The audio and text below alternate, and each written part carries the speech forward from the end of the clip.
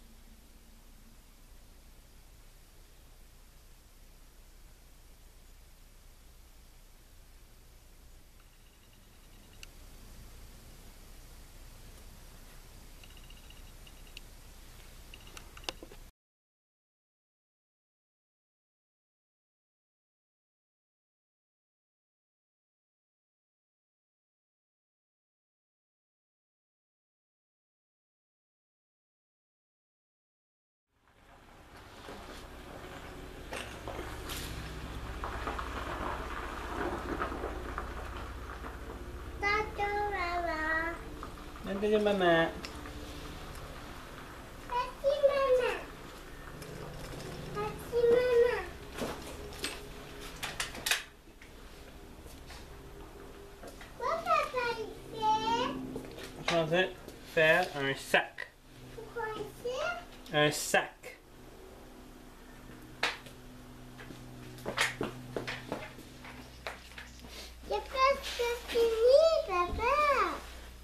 Que fini un côté?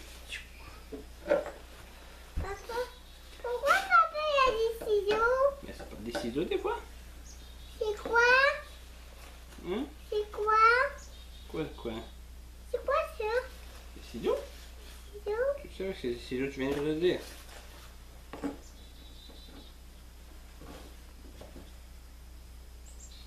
Un trou. Ah, ça va être une sacoche non, ça va être un sac. Un sac? Maman faisait une blague quand elle disait sacoche.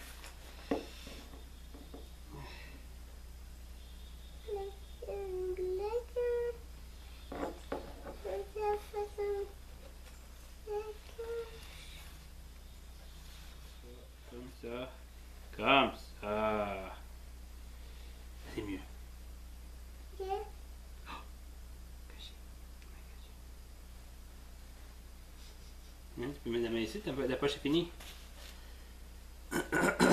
Celle-là, là. Hein? Fais une poche. On peut cacher des choses. So I was trying to think of how to get the how to fasten the flap for the uh, the laptop bag, and I had an epiphany. I'll give you a hint.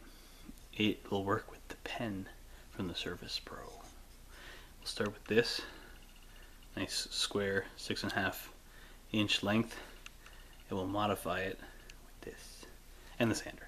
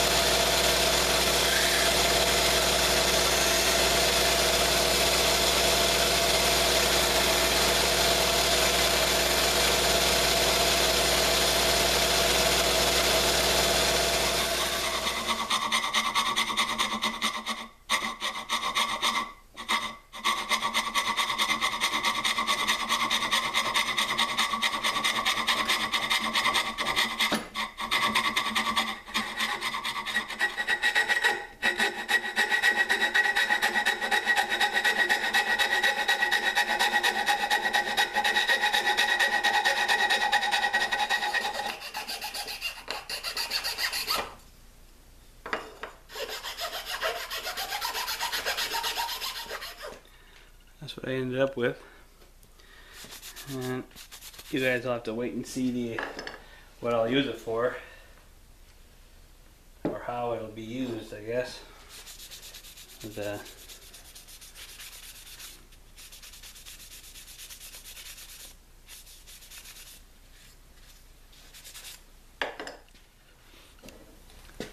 Morning.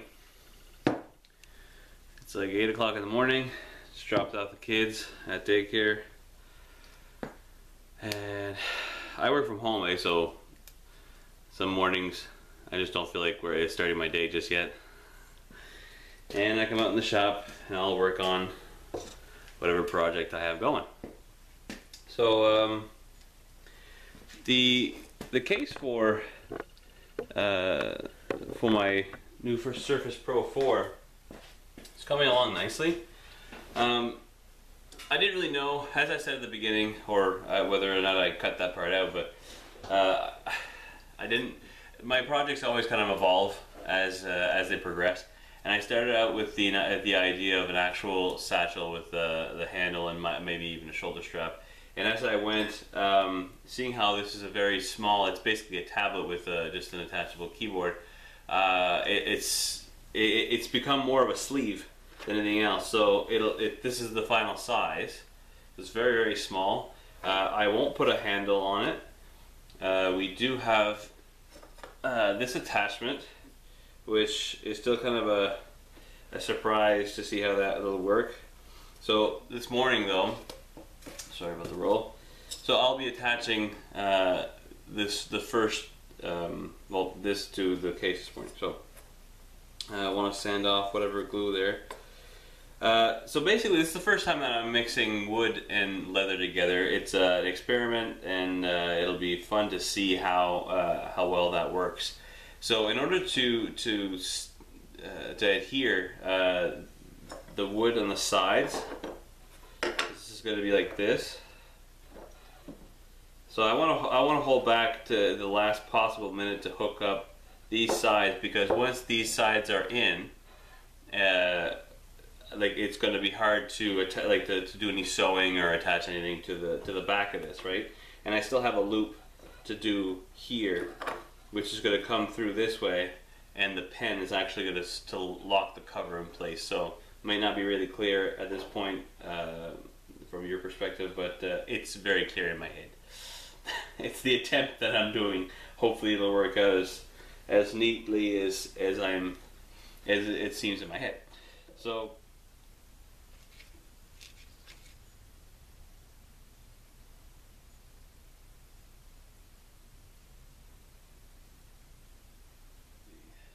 Hopefully I don't have any runoff. It seems pretty darn thin.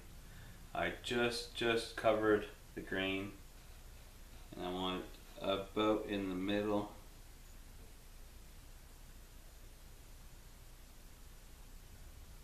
Right, that's placed. Okay.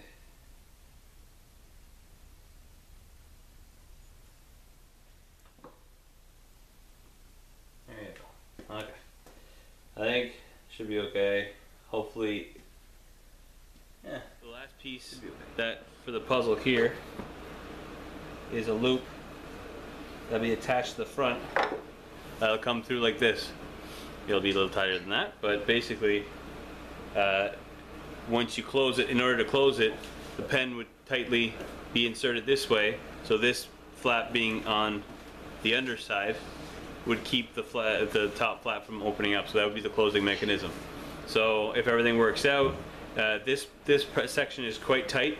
I can't even move. I can't even move this uh, dowel here. That's kind of just holding the shape. So uh, if the pen is anywhere near, which I think is pretty much the same diameter as that dowel. So if that's there, pen will go inside, and it's also the pen also has a kind of a pocket. You know those uh, little clips you put in your pocket. So that should go over that too and offer more support so that it doesn't pop out. So that was my thought. It, it should be pretty neat. Um, so the next step, what I'm doing right now, is just attaching this strip. Right now that's not even attached, it's just inserted in. Uh, so I'm going to get this out. I'm going to use just these uh, little uh, uh, rivets to uh, to attach it. Instead of sewing it, I'm just gonna put a rivet. So I'm using uh, two-part epoxy to stick the leather onto the the side boards, whatever, side sticks. And I'm also going to be reinforcing the leather with these half-inch uh, antique. Uh, I think they're brass. Yeah, antique brass. So the the color should match nicely with uh, uh, with the rest of the of leather. At the same time, I really want to spread it as. There.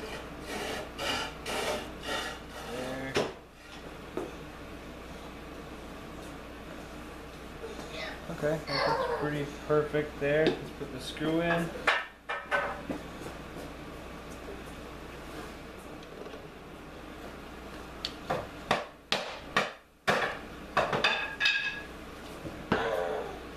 Okay.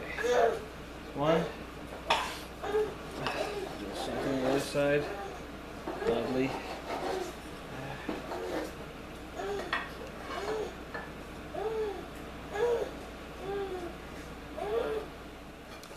All right, so this is the uh, the end result.